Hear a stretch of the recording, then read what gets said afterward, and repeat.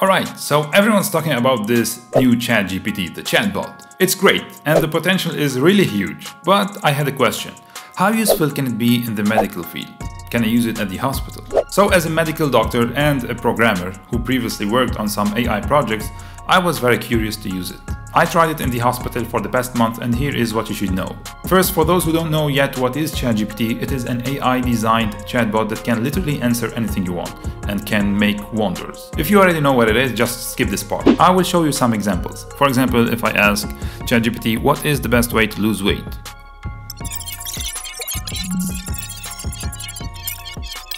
Another example, how can I convince my boss that I am sick? And here is a very nice answer. It can write essays, poems, contracts, literally anything. Write me a poem in Shakespeare tone about atrial fibrillation.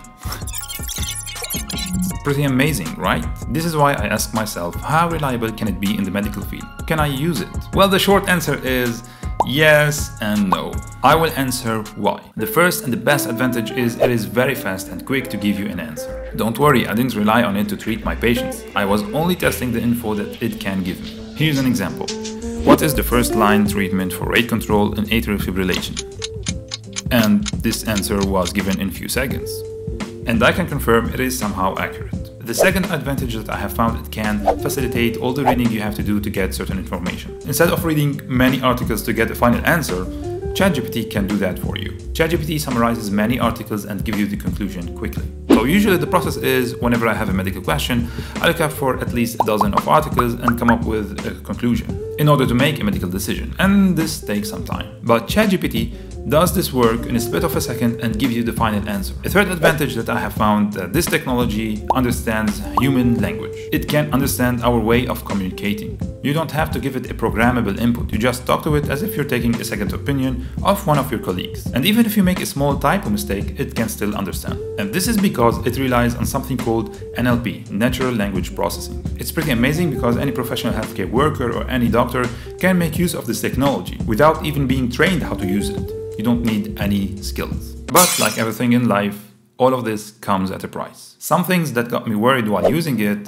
is that some info and data are outdated. And this is one of the cited limitations of the ChatGPT on their website, that all the data is gathered before 2021. And in medicine, as a lot of you already know, this is a changing field. Every day we have new studies, we have new data, we cannot rely on old, outdated data. So definitely you are missing on a lot if you are solely relying on the data provided by this chatbot. The second limitation is that I couldn't know exactly what are the articles that the ChatGPT relied on to gather this information. And why this is very important because even if it is a medical article from a well-known medical journal, we as doctors sometimes we don't agree, we don't take it for granted, we have our own point of view. We don't follow blindly.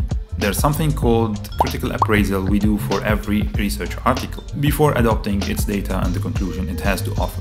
So with ChatGPT we don't have access to this kind of analysis. We don't have access to the article that the bot itself made the conclusion on. And this is dangerous because we are dealing with real patients. We are making clinical decisions based on the answers of the chatbot. So this was definitely a no-no to me. A third disadvantage is that a lot of data can be subject to bias or errors. And the problem is that you cannot go back to the source and verify that. ChatGPT is trained on a large amount of data and this can be the source of some bias and inaccuracies. So professional workers should always verify the information gathered and try to compare it to some other standards that we follow.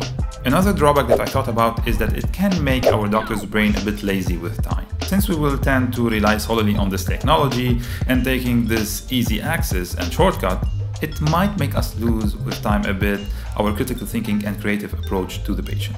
Maybe, I don't know. So in summary, yes, ChatGPT can be a great tool and can have a huge potential in the medical field, definitely. It can help every healthcare professional in their day-to-day -day work, and especially useful in point of care where you have to make a quick decision in front of the patient if you have no other choices. But this comes at a price. But this is so important for the future. I think creating a medically oriented AI chatbot can have a great impact on the medical field. It can improve the healthcare system all in all if engineered in a safe way. And yeah, if you like such content, don't forget to hit the subscribe button and I will see you next time.